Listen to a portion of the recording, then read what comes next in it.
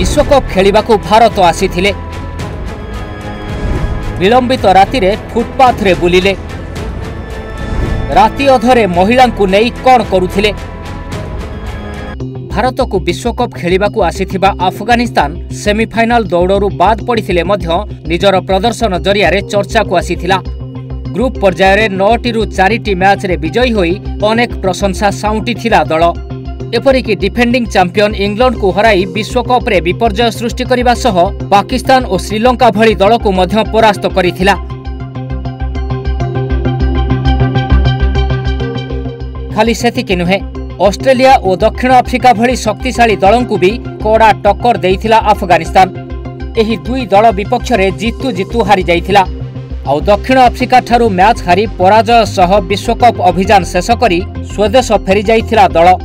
ହେଲେ ନିଜ ଦେଶକୁ ଫେରିଯିବା ପୂର୍ବରୁ ଆଫଗାନିସ୍ତାନର ଜଣେ କ୍ରିକେଟର ଭାରତରେ କିଛି ଏମିତି କାମ କରିଛନ୍ତି ଯାହାକୁ ନେଇ ଏବେ ଚର୍ଚ୍ଚା ହେଉଛି।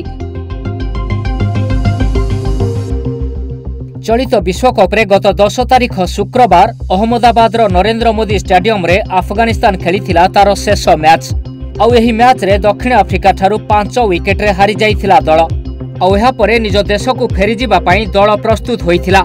ହେଲେ ଆଫଗାନିସ୍ତାନ ଟିମ୍ର ଖେଳାଳି ରହମାନୁଲ୍ଲା ଗୁର୍ବାଜ ବିଳମ୍ବିତ ରାତିରେ ନିଜ ହୋଟେଲ ରୁମ୍ରୁ ବାହାରକୁ ବାହାରିଥିଲେ ରାତି ତିନିଟାରେ ସେ ଚୁପଚାପ ଅହମ୍ମଦାବାଦର ଫୁଟପାଥରେ ଶୋଇଥିବା କିଛି ଲୋକଙ୍କ ପାଖକୁ ଯାଇଥିଲେ ଦୀପାବଳି ପୂର୍ବରୁ ନିଶବ୍ଦ ରାତିରେ ରାସ୍ତାକଡ଼ରେ ଶୋଇଥିବା ବାସହୀନ ଲୋକଙ୍କ ପାଖରେ ପହଞ୍ଚିଥିଲେ ଗୁର୍ବାଜ ଆଉ ପ୍ରଥମେ ସେଠାରେ ଶୋଇଥିବା ଜଣେ ମହିଳାଙ୍କୁ ସେ ନିଦରୁ ଉଠାଇଥିଲେ ତାପରେ ସେହି ମହିଳାଙ୍କୁ ସାଙ୍ଗରେ ନେଇ ସେ ଯାହା କିଛି କରିଥିଲେ ତାହା ଜାଣିଲେ ଆପଣ ଆଶ୍ଚର୍ଯ୍ୟ ହୋଇଯିବେ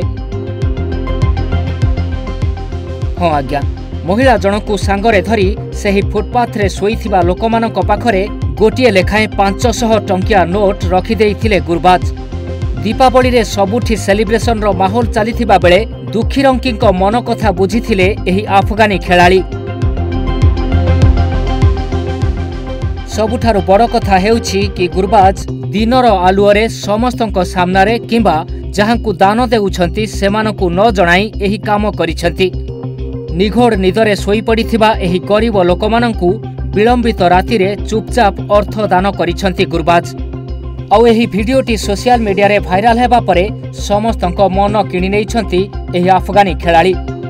ନିଜ ଦେଶକୁ ଫେରିଯିବା ପୂର୍ବରୁ ଆଫଗାନ କ୍ରିକେଟ ଦଳର ଏହି ଓପନିଂ ବ୍ୟାଟରଙ୍କ ମହାନତାକୁ ଭାରତୀୟମାନେ ମନ ଭରି ପ୍ରଶଂସା କରୁଛନ୍ତି। Bureau report Odisha Bhaskar.